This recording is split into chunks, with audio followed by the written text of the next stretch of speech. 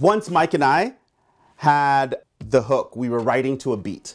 Um, this beat was something that he had in his stash in his library, and it was some from from somebody online. I don't know who this person was, but I was like, Mike, like this is the beat. This is the beat. We have to find who this person is. Like this is amazing. He's like, I'm on it, but we couldn't find this person. We we it didn't it didn't come about the way that we wanted. We just couldn't find this person. So I switched gears. There was a producer in Atlanta. This seems like a good fit. We had some conversations back and forth. And then we started to begin the process. Um, and this is during the pandemic. And I think after the first wave, like the first time, things started to get busy with him. And then he could no longer continue on with the track. Um, and then entered Darrell and I called Darrell. I was like, Darrell, I really need your help, dude. Like, listen, like, I was stressed out at this point because I've I've gone. I found the beat that I wanted. That was a little bit stressful because we couldn't find the person that we wanted we wanted to buy the beat from. Then we found this guy from Atlanta. All was going well, but just with the workload and things opening back up down there, he was like, I got other things that I need to do. We find Darrell and uh, Darrell um, is like, I will take this on. He, I told him the story, and he's like, Yes, I got you. Don't worry. I'll do not only the R&B one, I'll do the hip hop one as well. Cool. So through that process, Darrell is seeing how big this track is becoming, and he and I had a conversation. And through that conversation, he's like, "We need Gary." Rufus has so much beautiful energy. So when he asked me to be a part of this and vocally produce the the, the, the singers. Um, and we knew it was going to be a heavy lift.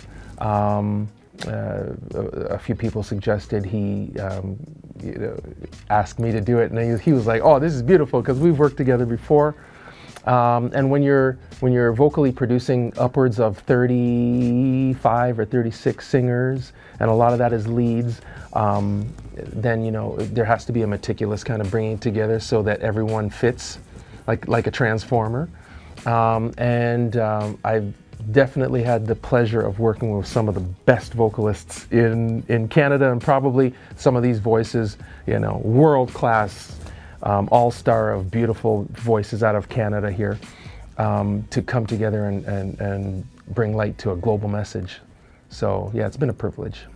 Working with Gary is amazing. Um, very talented man. Um, just um, able to take all these ideas, um, all these flavors from all these vocalists, um, all the nuances that these vocalists bring, and he's able to, he was able to kind of speak to them in a way that um, landed, connected. They they heard what he needed to get across, so that they could perform it in the way that was still true to them, but gave him what he needed for the track. Till the walls come tumbling down. Now. Yes. Yeah, so it's like, now. Till the walls come tumbling. You'll know when you feel it, hear it, but I want to marry it with the other one so they so they are in lockstep. Yeah. Black, white, yellow, you know, uh, people of all races, creeds, colors this is a this is, is a combating of a mindset that we're doing here. Mm-hmm. So it's it's poignant. It's still poignant as it was last week, as it was a year ago, as it was for all these different little moments we've seen in time. Um, and, and, this is part of that, that uh, offering, this this this this um, artist, artistic offering to say, hey, nope, nope, nope, we're walking together, all of us, to combat this mindset. I love working with Gary, and um, I can't wait for you guys to hear what uh, he was able to help us uh, with on this track. Choosing the artist for this project um, has been a journey. I made a list. I made a list of artists that I definitely wanted. Definitely wanted. What I mean by that was people that I knew. So people that I know, these are definitely who I wanted. And I had a list of definitely who I wanted, but I did not know. And then I had a pool of I don't know any of these. Like I'll just start searching online, and the and the random person that I find, I'll kind of put them on um, in that list. And I started reaching out to the people that I knew. Uh, Rufus reached out to me. I hadn't actually met Rufus or heard of Rufus, Rufus before he emailed me. Um, so I was a little bit hesitant at first because I didn't know who it was. And then I heard the song and the message and the idea that he was trying to get across. And I just felt like it was something that I, as a queer black artist who's trying to make things happen and make change happen, that it was something that I should probably be a part of. Having the opportunity to sing with amazing artists uh, from around the GTA, from around Ontario is an honor and is something that I've wanted to do for a really long time. And not to mention for this cause, it's so important that we come together as a collective and we, we raise our voices and we use the, the music of, you know, love as a frequency to share the message. The way that I saw this going down was we are the world. So think we are the world. I wanted people in the studio, I wanted, you know, Gary up there conducting the choir, doing whatever he needed to do. We were gonna have a great kumbaya weekend, and then we were gonna sit in the studio and chop this thing up and piece it together and create a, a wonderful song. COVID kiboshed that completely. I have to get all these 30 artists in the studio and out of the studio. I cannot have them cross paths, and in between each studio session, there's like a half an hour window where we had to kind of clean, sanitize the air. Um, so it not only pushed our timeline, um, because now I have to space people out in these time slots. Um, it, it, it impacted my budget because now I wanted one or two days in the studio and now I have to like have six days in the studio because I have to spread these people out. Lines, okay. So you're gonna hear right off the top of the chorus, yeah.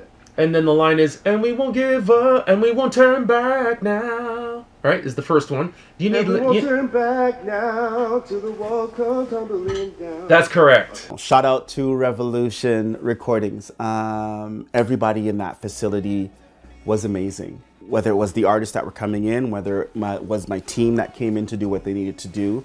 Um, Revolution was amazing from the person at the front door to the person that I was talking to on the phone, um, to the engineers that were involved. Everything was amazing. Track House, uh, we were able to go there to um, to lay some vocals down for a hip hop artist out here in Kitchener, Scars. And Tate's great um, and he was very welcoming. It was a great opportunity to work with Tate. I've worked with him in the past, so it was a great way to reconnect with Tate, be in the studio and chop it up uh, for a bit to get the verse that I needed. Cedar Tree Studios, um, shout out to everybody there. Ron, that space recorded the choir. I had the opportunity to working with Ron before this project, so we had a relationship. Um, but once again, he was great with being very articulate of what the protocols were in terms of COVID. And when the choir came in, um, he, he was welcoming. We had to develop a plan, which took a bit of back and forth, back and forth, um, but we were able to land on a plan that worked because we needed so many people in the space that we had to figure out how to slice this pie in a safe way that everybody could be separated, but still find a way to create the energy as if they were all in the same room because we wanted that energy. Um, and he was great at navigating that. With all the studios, I have to say that, you know, it's that typical call when you call them and, you know, you're going back and forth. But once they heard about the project, once they heard about the project and what it was, it was almost like it shifted the conversation to, what do you need? What do you need to make this happen? Because this is amazing. And we will figure it out. Um, and Charterhouse in London was no different. Aaron was amazing. We came through. Um, I had Trishana um, come from out west to do her vocals there, and the Macaulay boys were there as well. And it was a great energy. Um, it was great to work with him. And again, although we recorded in multiple spots, again, Gary, myself, Darrell were the constant things there just driving this bus.